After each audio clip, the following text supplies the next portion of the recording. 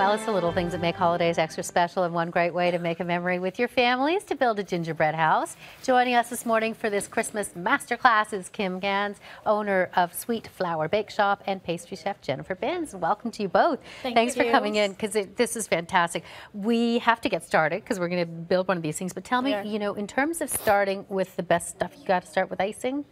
Uh, you Know gotta the best start icing? with a good gingerbread. Yep. That's your basic thing. Have your awesome recipe, and then a good icing to help hold everything together. And you make your own icing, but some people get them in bags already made. Yeah, we make our own. The kit comes with a royal icing kit, so all you a royal icing mix. So all you have to do is add water. And royal icing isn't like icing sugar icing. It's a mixture of icing sugar and meringue powder. Oh, okay. So that's we the can show you right here exactly. So yeah, so when we're working with the kit and we've got the little pieces, making Yeah. sure that it stays together is your glue. trick, yeah.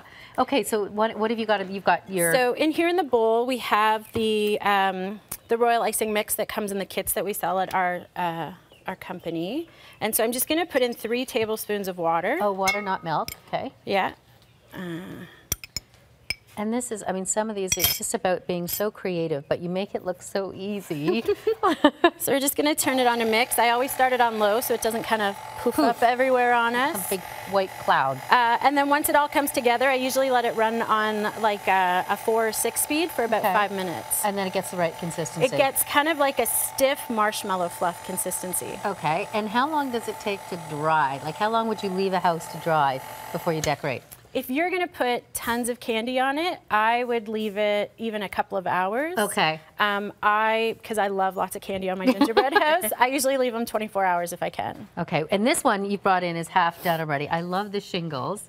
Shreddies. Uh, I've also used uh, mini wheats before. Um, yesterday with our staff, we were talking about cinnamon toast crunch. Ooh, Um, lovely. even the bulk store I was at the other day had beautiful chocolate medallions that would Oh, make awesome nice. roofs. I think the Yeah. best part is it's your imagination. So whatever Yeah. you find in your cupboard, whatever you dream up, that's that's It's what we love about whatever it. you It's- wanna It's an activity and it's however you want to do. and you can to do themed houses as well. Absolutely. Tell me about the shop because there's a two-minute record. two minute You have. Yes, yeah. So where we kind of uh, made our, our beginning was uh, custom cookies in two minutes. So you pick your dough, pick what you want in it, and get it hot. In two in- minutes? In two minutes. It's yeah. amazing. And then we've evolved into gifts and gingerbread houses and cookies and cupcakes. So show me how you would assemble.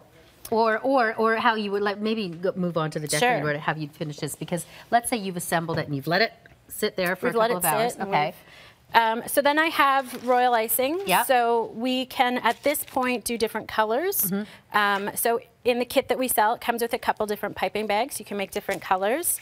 Um, and then it's just really whatever candy you'd like to work with or whatever you feel like putting on. Just fabulous. So we also have some Christmas trees and gingerbread men here today if you want to try We thought it would decorating any. fun if Oh, me? one. Yeah. Oh, that might be. Yeah, pick a tree, After a looking at these beautiful houses, that might okay. So, so and the one thing about the piping bag is, and because when we've done these in my house eh, before, it's just been icing in a bowl, and it Yeah. doesn't work all that well. It's more difficult. Anyway. It's a little bit harder. So in here, we just put it in the piping, piping bags. Uh, we give you a couple of ribbons, so I tie it really tight.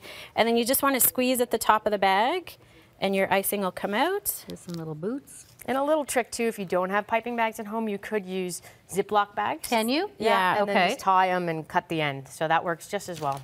And then yeah, and then you can can you refill it or once it's done, it's kind of done. You can definitely refill them. These ones are plastic reusable bags, so you can even, when it's all done, wash them out and, and use them over again.